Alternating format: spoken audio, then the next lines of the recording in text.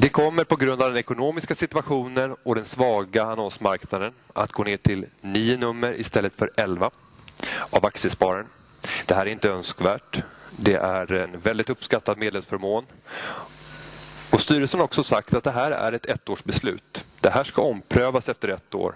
Och så fort annonsmarknaden vänder så har vi helt andra förutsättningar att faktiskt börja eh, återgå till det läge som vi befann oss i innan med 11 nummer. Lansering av fonddräparen. Jag vet inte Andreas om du eh, gillar min, min, min, benämning på det här. Andreas är VD för Aktieinvest. Jag vill vara lite aggressiv. Fonddödaren eller fonddräparen. Aktieinvest håller på att utveckla en ny tjänst med en portföljorder där du har en automatisk omallokering. Det låter komplicerat, men det möjliggör alltså en produkt som i sin struktur är så lik man bara kan komma en fond så lik man bara kan komma en fond. Men vi gör två förändringar. Vi tar bort förvaltningsavgiften. Den avgift som gör att många inom finanssektorn kan tjäna fantastiska pengar och leverera höga bonusar. Vi tar bort den delen. Och så lägger vi tillbaka någonting. Äganderätten. Äganderätten att fritt förfoga över de innehav som man de facto har och som man har när man har en fond inte faktiskt kan agera för. Vi skapar ett system att kunna köpa då färdiga portföljer som kommer att omallokeras automatiskt varje månad. Så att för våra passiva sparare som inte kanske vill, vill eh, gå in i ett direktsparande på, på eget bevåg så har vi nu ett alternativ och konkurrera med fondmarknaden. Vi får se. Det är inte helt klart med tillståndsbiten och, och alla praktiska detaljer men förhoppningen är att lansera en sån här typ av produkt.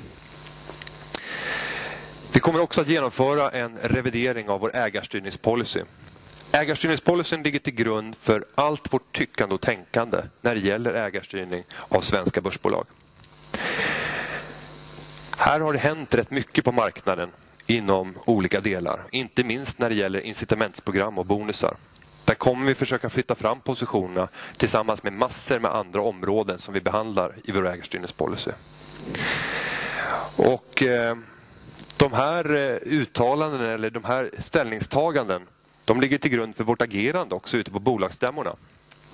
Det vi kommer göra nu för året är att prioritera de bolagsstämmor där vi ser att våra kärnfrågor, som jag alldeles strax ska presentera, är uppe på agendan. Det kommer innebära att vi är ute på majoriteten av, av börsens bolag och för medlemmarnas talan. Vi kommer också att återrapportera via webben på ett helt annat sätt än vi tidigare gjort. Nu kommer ni se drygt 50 stämmor som kommer att direkt refereras till så fort den är färdig på webben. Våra kärnfrågor för året. Här kommer vi ställa en rad krav när det gäller inte minst de nyemissioner som kommer att, att eh, slå som spön i backen under det här året. Det kräver en tydlighet, att man redovisar vad ska missionen användas till? Varför landar man på det belopp som man föreslår? Det här är viktiga frågor för att det är också de som också ger, ger svar på frågan för oss när vi ska välja att delta eller inte delta. Det finns mängder med frågor när det, gör, när det gäller bolagets finansiering. Och för de som är extra roade av det här så kan jag rekommendera vår pressrelease som gick ut och som också återfinns på hemsidan. Bemanningen av styrelsen är också en viktig fråga för året. Det som har hänt under det senaste året har radikalt förändrat förutsättningarna för att bedriva verksamheten.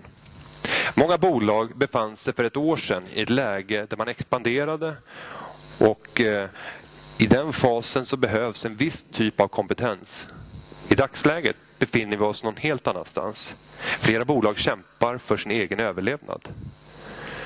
Det är rimligt att tro att de här två olika ytterligheterna kräver olika typer av kompetens. Och därför kommer aktiespararna vara väldigt kritiska i de lägen där vi ser att bolags valberedningar kommer att föreslå en oförändrad styrelse. Det kanske är rätt, men då ska det också tydligt motiveras varför det är det rätta valet.